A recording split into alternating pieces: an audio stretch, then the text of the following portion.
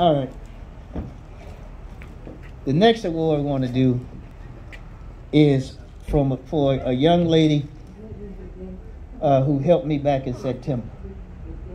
She gave me a call. I was in the middle of a program. I said, "Man, let me get my program out the way." Well, she called me because we had 11 families who had got illegally evicted over here at the Efficiency Lodge on Candler Road.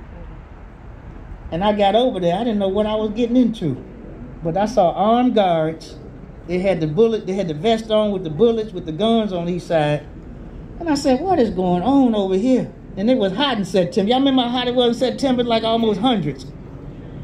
But this young lady called me and said, Commissioner, what can we do to help?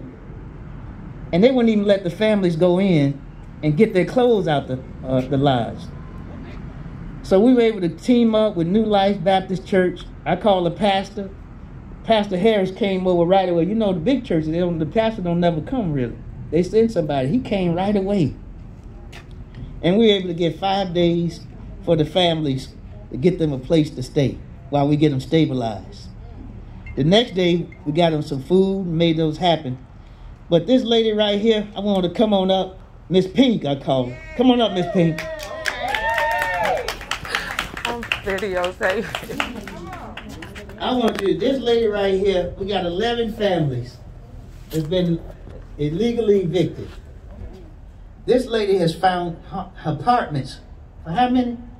Uh, we have uh, six, seven altogether. Seven apartments for these families. Have gotten them money, gotten them help to really look out. And then let me tell you something about these families. The families came over to Columbia Drive for the Tree of Love I do over there.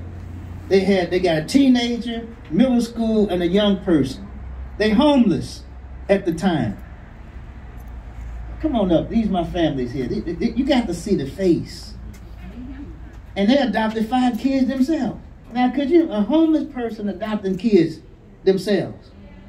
And a lot of us got in the big house, you know, two, three cars. And I'm trying to pull you to come out. Because they got every reason not to help nobody. Right? Now, if you're homeless, you don't have nothing. Don't you? that's your reason. You can say, I'm not doing nothing. But they don't do that. And so Miss Pink has come. She has helped seven of 11 families. These families, some of them got jobs. Some of them managers now. They got manager jobs. Some of them sent me a picture last night. They got another job. These were essential workers, y'all. These are folks that lost their unemployment to $600. They got cut to 300 And extended stay homes are not cheap now. They buy what? How much an extended stay per day? Weekly. Three hundred dollars a week to live extended stay. That's a lot. So Miss Pink, with her advocacy, with her love, with her care, I want to give her the special award, the Ernest Prather Community Award, to promote community pride and civic responsibility. And so here you go, Miss Pink. Y'all give it up for her. Activist. Come on, say a few words. And see, I, I got off guard. See, she didn't know she was getting this. See, she just thought she was coming to help. Man, man, man, he always is a surprise. Him and Miss Rashad, I thank y'all and I love y'all so very much. Um, I just love being obedient to God. I love what He is allowing me to do for our community, and that's teach, train, equip, and empower individuals to function using the keys of the kingdom of God. And when you do that, you can get through any situation. You know, I tell them all the time, I meet you where you at, but I got to take you where you're, where I'm going to the top because the bottom is entirely too crowded. And working with Commissioner Larry Johnson, that's what it is. He's always at the top and he's bringing someone else along with him. This is not something that he just does just yearly. This is something that he does all the time, year after year after year, day after day, minute after moment. When I called him, he had no question about coming. The only thing he said is that he had a phone call, uh, uh, um, um, something that he had to, a meeting that he had to do as far as the Zoom call, but he counseled two, not one, two. I've never seen a commissioner do this. Not in the state of Georgia. I'm from Denver, Colorado. Not in Denver, Colorado. Not ever drop what they were doing to come. And not only did he just come, he came with a call to action. He came with an action plan. He had a plan already of what was about to happen. Not even knowing what he was up against. At the time, he didn't know it was 11. I didn't know it was 11. Well, I, I told him it was 2030. And then I, Ms. LaShawn and, and, and Commissioner, I, I, I did, when I talked to both of them, because I talked to Ms. LaShawn first, and she immediately got him on the phone.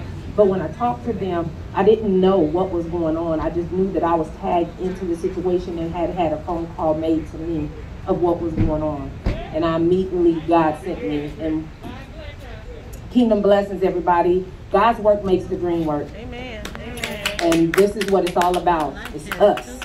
Not I.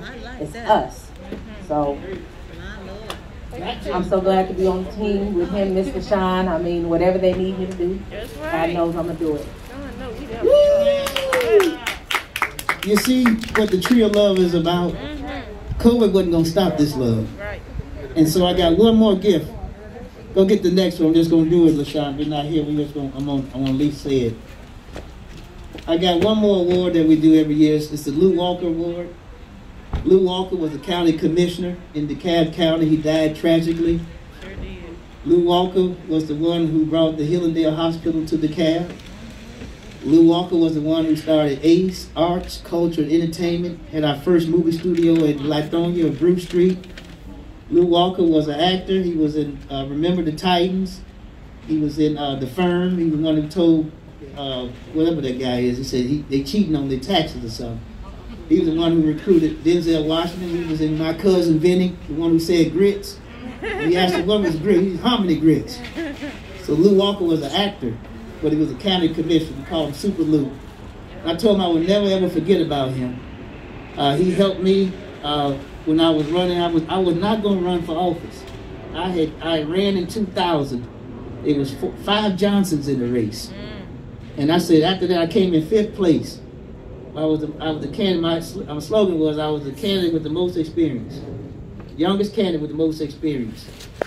But then he saw me two years ago. I went to work for the person who, who beat me. That person was uh, Hank Johnson. I worked in Hank's office. I said, I want to. I still want to make sure that somebody get the betterment of DeKalb and what I can do, because it wasn't about me. It's about service. And then they said, man, we need some young people to run for office. I'm looking around and just waiting. And at that moment, my daughter had started getting into the acting industry. And when she got in the acting industry, we had uh, we said, well, we're gonna help her be an actress. Actress. So my wife and her got in the car and drove all the way to California in two days.